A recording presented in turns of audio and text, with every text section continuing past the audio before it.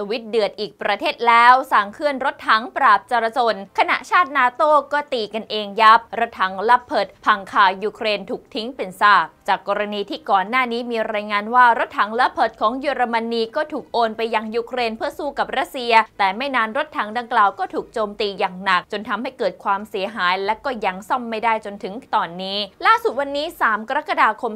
2566 Blockdit World Update ได้มีการโพสต์ข้อความถึงกรณีเยอรมนีและโปแลนด์ยังตกลงกันไม่ได้ เรื่องของการซ่อมรถถัง Leopard โดยบอกว่า ในช่วงสงครามโลกครั้งที่ 2 เยอรมนี พิพาทเรื่องดินแดน และท่าเรือกับโปแลนด์ จึงประกาศสงครามยกทัพบุกยึดโปแลนด์เป็นแห่งแรกทำให้สองชาตินี้มีอดีตฝังใจบาดหมางกันเรื่อยมา โปแลนด์พยายามเรียกร้องเงินชดเชยจากเยอรมนีเป็นจำนวน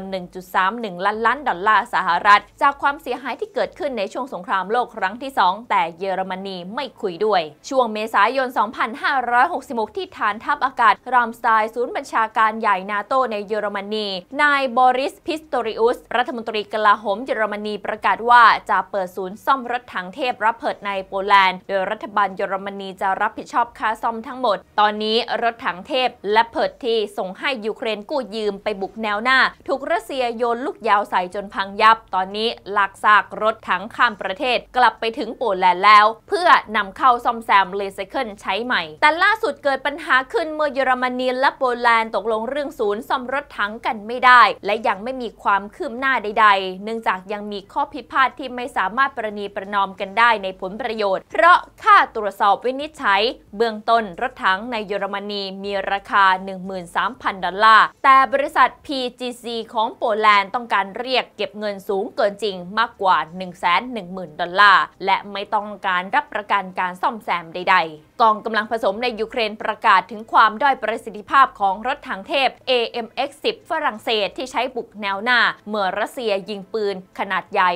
152มิลลิเมตรตกลงมาระเบิดข้างรถถัง ได้เจาะเกราะที่บางจนทะลุ ทหารที่ประจำการในตัวรถถังสีนาย เป็นปุ๋ยทันทีคารถ นอกจากนี้รถพุ่มเกราะยังมีกระปุกเกียร์ที่เปราะบางมาก ไม่ได้ออกแบบมาให้ทำงานในถนนที่วิบากจึงพังหลุดได้อย่างง่ายดายผลจากการเกิดจลาจลสงครามกลางเมืองในฝรั่งเศสไปทั่วประเทศนั้น บรรดาม็อบมีการใช้อาวุธปืนหลายชนิดที่ลักลอบนำเข้ามาจากยูเครนทำให้สื่อตะวันตกอ้างว่ารัสเซียผิด เพราะอยู่เบื้องหลังม็อบก่อจลาจลปล้นสะดมเผาทำลายทรัพย์สินสูญเสีย ชีวิต และความวุ่นวายทางสังคมที่เพิ่มขึ้นอย่างมาก ในสวิตเซอร์แลนด์การจลาจลได้ขยายลุกลามไปยังเมืองซูริก เมืองที่ใหญ่ที่สุดเกิดการปล้นสะดม ประทุษร้าย ทุบทำลายร้านค้าปะทะตำรวจ และมีม็อบขนาดใหญ่ในเบลเยียมกำลังเลียนแบบฝรั่งเศส รัฐบาลสวิสสั่งกองทัพเคลื่อนทหารและรถถัง เพื่อยับยั้งการจลาจลที่แพร่ขยายไปทั่วเมืองชายแดนของฝรั่งเศส วิเคราะห์ว่าเยอรมนีและโปแลนด์มีประวัติศาสตร์บาดหมางยากที่จะร่วมมือกันอย่างจริงจัง